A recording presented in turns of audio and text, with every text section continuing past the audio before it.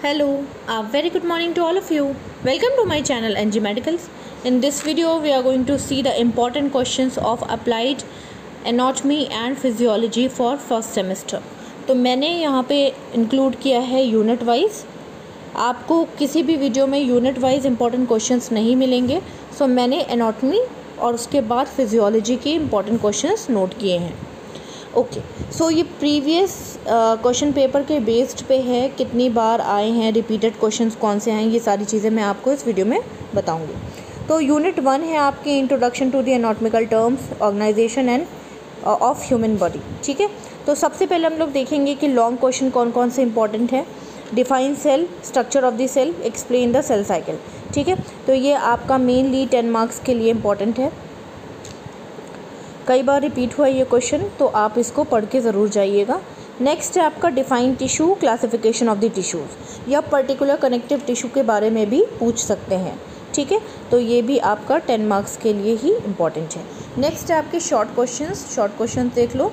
Structure and function of the thyroid gland cartilage endocrine gland pituitary gland thyroid gland या classification of the glands ठीक है? तो gland से related बहुत सारे क्वेश्चन इंपॉर्टेंट है। ये है आपका मेनली फाइव मार्क्स के लिए। कभी कदार ये टू टू थ्री मार्क्स में भी आ जाते हैं। अगर केवल डिफाइन करने के लिए आएगा that will be into the two to three marks और अगर ये स्ट्रक्चर फ़ंक्शन रिलेटेड आएगा तो ये आपका फाइव मार्क्स के लिए इंपॉर्टेंट है। नेक्स्ट आ जाते हैं यूनिट टू की बात करेंगे। नेक्स्ट है आपकी रेस्पिरेटरी सिस्टम ये वेरी वेरी इंपॉर्टेंट यूनिट है, ठीक है? इससे क्वेश्चन बनता ही बनता है तो आप ये मान के चलिए कि ये यूनिट मोस्ट इंपॉर्टेंट है। ओके तो सबसे पहले देख लेते हैं लॉन्ग क्वेश्चन की अगर बात करेंगे तो describe the borders surface and bronchopulmonary segments of the right lung specify किया गया है राइट लंग लेकिन ज़रूरी नहीं है कि यहाँ पे राइट लंग की ही हम बात करें। यहाँ पे लेफ़्ट लंग की भी हम बात कर सकते हैं, या आ सकता है, ठीक है? तो राइट लंग यहाँ पे मैंने प्रीवियसली आया है, इसी वजह से मैंने यहाँ पे राइट लंग लिखा हुआ है ओके बाकी स्ट्रक्चर इसका मोस्ट इंपॉर्टेंट है एनाटॉमिकल पर्पस के लिए। नेक्स्ट है आपका शॉर्ट क्वेश्चन लंग्स रिलेटेड आपको क्वेश्चन बनेगा ही बनेगा लॉन्ग में, ठीक है? नेक्स्ट है आपका लंग्स का स्ट्रक्चर एंड फ़ंक्शन नेक्स्ट है यूनिट थ्री डाइजेस्टिव सिस्टम तो डाइजेस्टिव सिस्टम में ये क्वेश्चन रिपीट हुआ, ये वेरी वेरी इंपॉर्टेंट है, ये मैं आपको बता देती हूँ लंग्स रिलेटेड ठीक है? इसके अलावा डाइजेस्टिव सिस्टम में diagram of the stomach important है, आज, आ जाता है फाइव मार्क्स के लिए भी इंपॉर्टेंट है, केवल स्टमक लिख करके आएगा तो भी आपको मेंशन करना पड़ेगा। इसके अलावा explain the structure and the function इस रिलेटेड इसके अलावा एलेबोरेट द एसेसरी ऑर्गन ये क्वेश्चन आपका फिफ्टीन मार्क्स के लिए इंपॉर्टेंट है। ठीक है? टेन मार्क्स में भी आ सकता है। टेन टू फिफ्टीन मार्क्स के लिए आप उसी से कोरिलेट करके पढ़ के जाना कि आपको टेन टू फिफ्टीन मार्क्स में कितना पढ़ना है। Okay explain the structure and the function of the oesophagus ये क्वेश्चन रिपीट हुआ है रिपीट हुआ है। आर लिख दे रही हूँ। रिपीट हुआ है। बट फाइव मार्क्स में रिपीट हुआ टेन मार्क्स में ही ज़्यादा रिपीट नहीं हुआ है। Describe the peritoneal reflex and relation of the pancreas function of the stomach pancreas and spleen देखिए स्टमक पैनक्रियाज और स्प्लीन ये शॉर्ट क्वेश्चंस के लिए भी इंपॉर्टेंट है फाइव मार्क्स के लिए। आ जाता है। इसके अलावा लॉन्ग क्वेश्चन में अगर आएगा तो इसमें से कोई एक आपको डिफ़ाइन करने के लिए स्ट्रक्चर के साथ एक्सप्लेन करने के लिए आ सकता है। नेक्स्ट यूनिट है आपकी circulatory system and lymphatic system draw available diagram of the heart most important most important इसको ज़रूर पढ़ के जाना। ये बहुत पहले से ये क्वेश्चन रिपीट होते चले आ रहे हैं तो इसमें मुझे बताने की ज़रूरत नहीं है कि आप ये पूरा हार्ट उसका सर्कुलेशन सिस्टमेटिक सर्कुलेशन पढ़ के जाइएगा।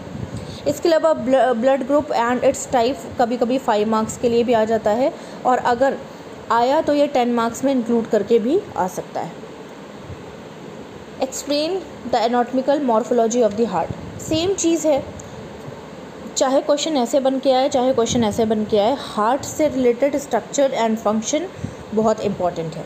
नेक्स्ट है आपका एंडोक्राइन सिस्टम एंडोक्राइन सिस्टम में मेनली शॉर्ट क्वेश्चन बन के आता है थायराइड ग्लैंड से रिलेटेड और इससे ज़्यादा क्वेश्चन आपको देखने को नहीं मिलेगा।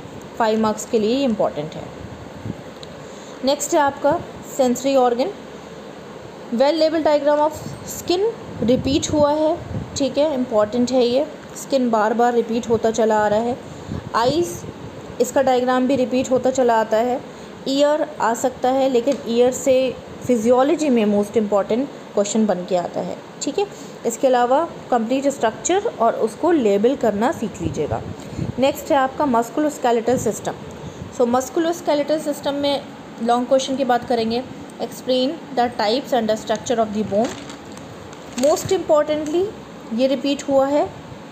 फीमर बोन ठीक है? ये इंपॉर्टेंट है। फीमर बोन रिपीट हुआ है। फ़िलहाल तो ये टेन मार्क्स का क्वेश्चन बन रहा है, अगर आप इसे, अगर आप कंप्लीट क्वेश्चन देखो। लेकिन अगर आप फीमर की बात करोगे तो केवल फाइव मार्क्स का क्वेश्चन इससे बन के आ सकता है। इसके अलावा क्लासिफिकेशन ऑफ़ द जॉइंट्स ठीक है? कंप्लीट क्लासिफिकेशन उसमें एक एक्सप्लेन करने के लिए बोल सकते हैं। सबसे ज़्यादा मोस्ट कॉमनली साइनोवियल ज्वाइन को एक्सप्लेन करने के लिए बोलते हैं। ठीक है? ये रिपीट होता चाहता है कि साइनोवियल ज्वाइन को एक्सप्लेन करिए। नेक्स्ट है आपका क्वेश्चन नंबर थ्री लॉन्ग में draw available diagram of the joint ठीक है? पर्टिकुलरली हो सकता है साइनोवियल जॉइंट को ही एक्सप्लेन करने के लिए और उसका डायग्राम ड्रॉ करने के लिए बोलेंगे। या हो सकता है टाइप्स ऑफ़ द ज्वाइंट का अलग अलग डायग्राम ड्रॉ करने के लिए बोलेंगे with its labelled short questions में देख लेते हैं टाइप्स ऑफ़ मसल्स जो हमारे कार्डियक स्मूथ और स्केलेटल मसल्स है, ठीक है? आप इसमें डिफरेंस बिटवीन के फॉर्म में भी लिख सकते हो ओके इसके अलावा टाइप्स ऑफ़ बोन भी कभी कदार आ जाता है। इन दोनों में ये ज़्यादा इंपॉर्टेंट है okay structure of the spinal cord इसके अलावा structure of the skeletal muscle gluteus maximus muscle ये रिपीट हुआ है प्रीवियस क्वेश्चन पेपर में, ठीक है? स्केलेटल मसल प्रॉपर्टीज़ ठीक है क्या क्या प्रॉपर्टीज़ हैं स्केलेटल मसल घूम फिर के अलग अलग तरीके से पूछा जा रहा है, लेकिन क्वेश्चन सेम है, ठीक है, इसके अलावा पैल्विक फ्लोर मसल ये ज़्यादा रिपीट नहीं हुआ है। नेक्स्ट आ जाते हैं नेक्स्ट यूनिट आपकी unit eight renal system gross structure ये मोस्ट इंपॉर्टेंट है, ठीक है, और इसके अलावा नेफ्रॉन भी इंपॉर्टेंट है ओके नेफ्रॉन का डायग्राम बनाने के लिए आ सकता है, उसका एक स्ट्रक्चर एक्सप्लेन करने के लिए आ सकता है सेम चीज़। किडनी का डायग्राम आ सकता है, उसके पार्ट्स को एक्सप्लेन करने के लिए आ सकता है। नेक्स्ट आ जाते हैं, शॉर्ट क्वेश्चन देख लेते हैं। सेम चीज़, किडनी शॉर्ट में भी आ सकती है, लॉन्ग में भी आ सकती है। ग्लोमुलर फिल्ट्रेशन रेट भी आ सकता है एंड यूरिनरी ब्लडर का स्ट्रक्चर एंड फ़ंक्शन भी एक्सप्लेन करने के लिए आ सकता है। नेक्स्ट आते हैं आपका reproductive system explain the structure of the reproductive system देखिए, इसमें मेल भी आ सकता है और फीमेल भी आ सकता है तो दोनों पढ़ के चले जाना।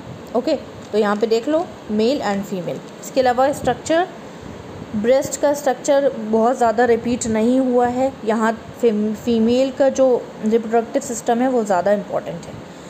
शॉर्ट की बात करें तो प्लासेंटा इतना रिपीट नहीं हुआ है फेलोपियन ट्यूब इतना रिपीट नहीं हुआ है यूट्रस इंपॉर्टेंट है, और ना ही ओवरी इतना रिपीट हुआ है ओके नर्वस सिस्टम की बात करोगे तो नर्वस सिस्टम में ब्रेन इंपॉर्टेंट है आपका न्यूरॉन इंपॉर्टेंट है, जो कि आता रहता है। स्पाइनल कॉर्ड तो मैंने आपको उसमें भी बताया है, पढ़ लेना इसको। इसके अलावा शॉर्ट में देख लोगे। स्पाइनल नर्व की बात करेंगे, टिपिकल स्पाइनल नर्व, जो कि ये प्रीवियस क्वेश्चन पेपर में आ चुका है। नेक्स्ट, मल्टीपल चॉइस भी मैंने ऐड किए हैं। ऑप्शंस ऐड नहीं किए हैं क्योंकि बहुत लेंदी हो जाता है। आप इसका स्क्रीनशॉट ले सकते हो, ले लो स्क्रीनशॉट, जिससे कि आप इसको ईजिली पढ़ सको। नेक्स्ट आ जाते हैं अप्लाइड फिजियोलॉजी की बात करेंगे तो यूनिट वन है आपका general physiology basic concept shorts बन के आते हैं इसमें लॉन्ग क्वेश्चन मोस्टली नहीं आते हैं. फॉर एग्ज़ाम्पल सेल मेम्ब्रेन का फ़ंक्शन क्या है? माइटोसिस मियोसिस इंपॉर्टेंट है, इसको पढ़ लेना. कनेक्टिव टिश्यूज़ टिश्यू रिपेयर भी इंपॉर्टेंट है एग्ज़ाम में आ जाता है, इसको पढ़ लेना. नेक्स्ट यूनिट है आपके यूनिट टू रेस्पिरेटरी सिस्टम से. Most important physiology of respiration आता रहता है, ठीक है?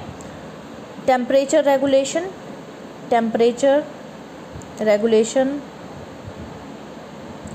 भी इंपॉर्टेंट है, पढ़ लेना उसे, ठीक है? रिफाइन हाइपोक्सिया ये सारी चीज़ें कम आती हैं। लंग्स का मैकेनिज्म एंड रेस्पिरेशन भी इंपॉर्टेंट है, इसको पढ़ लीजिएगा। पल्मोनरी सर्कुलेशन भी इंपॉर्टेंट है, जो कि आपका रिपीट हुआ है। ओके नेक्स्ट है लॉन्ग क्वेश्चन की बात करेंगे। Explain the mechanism of respiration explain the respiratory organs and function ठीक है? मोस्ट इंपॉर्टेंट ये क्वेश्चन लॉन्ग में फंस जाता है।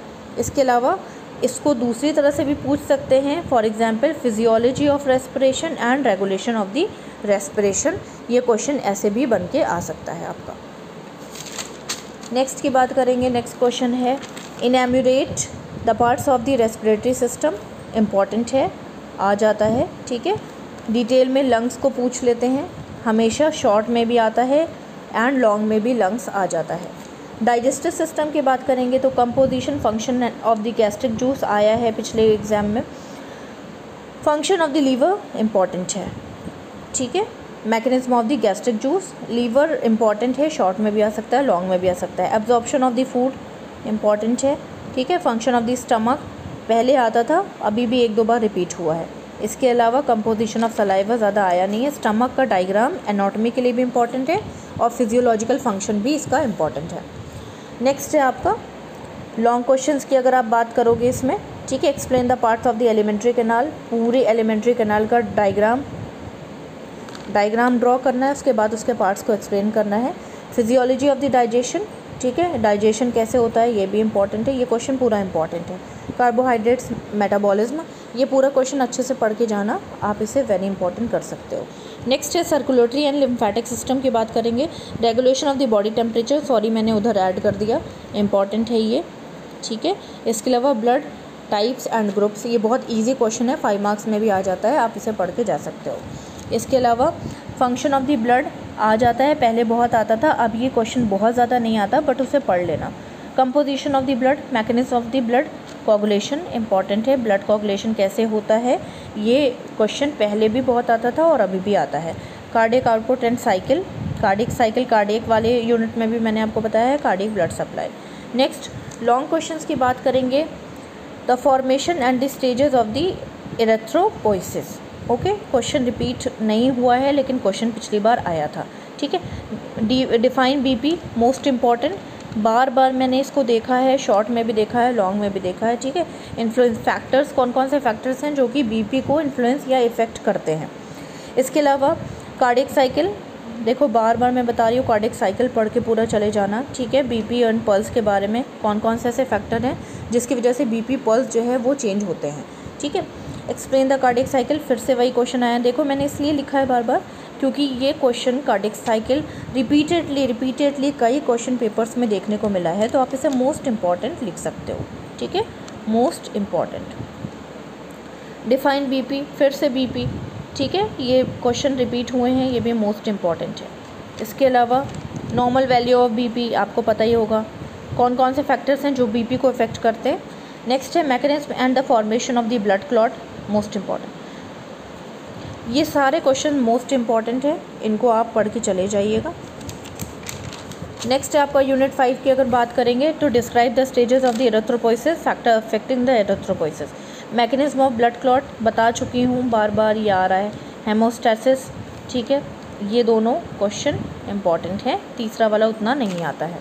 इसके अलावा यूनिट सिक्स की बात करेंगे एंडोक्राइन सिस्टम ठीक है? एंडोक्राइन सिस्टम में मेनली मैंने ऐड कर दिया ये यहाँ पे नहीं आएगा मेचुरेशन भी नहीं आएगा। इंसुलिन ठीक है एड्रिनल पिट्यूटरी हाइपोथैलेमस इन सारे के normally two two three marks या फाइव मार्क्स के लिए इंपॉर्टेंट है। इसके अलावा G F R and its factors affecting G F R glomerular filtration rate ये uh, इसका नहीं है सॉरी ये बाई मिस्टेक ऐड हो गया इसमें। रीनल सिस्टम का है। नेक्स्ट है आपका सेंस ऑर्गन ठीक है सेंसरी ऑर्गन सेंसरी ऑर्गन में मैकेनिज्म ऑफ़ थ्रोम्बो रेगुलेशन आ जाता है फिजियोलॉजी ऑफ़ विजन हियरिंग की फिजियोलॉजी इसके अलावा ये सारी चीज़ें रिपीट नहीं हुई हैं, फिर भी इसे पढ़ लेना, ठीक है? शॉर्ट्स में आ सकता है मे बी नेक्स्ट है आपका musculoskeletal system mechanism of muscle contraction most important है, आ जाता है ये बार बार. ये दूसरे फॉर्म में भी आ सकता है that is physiology of muscle contraction types of joint joint में बता चुकी हूँ बोन फ़ंक्शन हिप जॉइंट ये वगैरह देख लेना. Explain the mechanism of bone formation and growth important है, आ जाता है कभी कदार. Explain the mechanism of bone healing and repair अब क्या बोलूँ? ये क्वेश्चन रिपीट हुए हैं रिपीट ये भी रिपीट हुआ है, और ये तो मोस्ट इंपॉर्टेंट है ही, आता रहता है. नेक्स्ट है रीनल सिस्टम की बात करेंगे.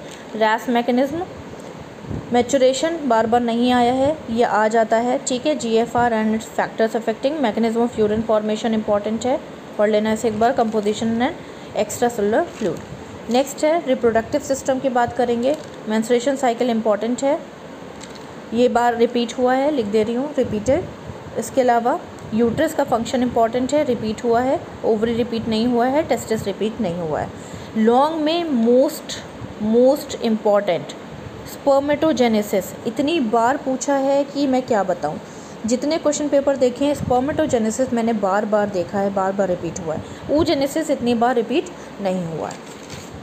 नेक्स्ट एलेवेंथ यूनिट की बात करेंगे नर्वस सिस्टम की बात करेंगे। क्रेनियल नर्व शॉर्ट में देख लेते हैं कि क्या क्या इंपॉर्टेंट है इसमें से। C S F circulation long में भी इंपॉर्टेंट है शॉर्ट में भी इंपॉर्टेंट है। वेरी वेरी इंपॉर्टेंट मैं बोल दे रही हूँ। इसको ज़रूर से पढ़ के जाना। ये पाँच से छः बार मुझे रिपीटेड क्वेश्चन देखने को मिला है।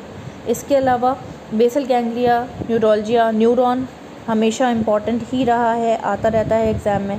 स्पाइनल कॉर्ड का स्ट्रक्चर एंड फ़ंक्शन दोनों ही पढ़ लेना एनाटॉमी के लिए भी इंपॉर्टेंट एंड फिजियोलॉजी के लिए भी इंपॉर्टेंट है। बाकी ये सारी चीज़ें रिपीट नहीं हुई हैं। नेक्स्ट इसका भी स्क्रीनशॉट ले लो मल्टीपल चॉइस क्वेश्चन ये फिजियोलॉजी के आपके मल्टीपल चॉइस क्वेश्चन है। So this is all about the important question of anatomy and physiology unit wise I think आपको क्लियर हुआ होगा. If you are having any doubt please ask me in comment box till then bye bye take and have nice day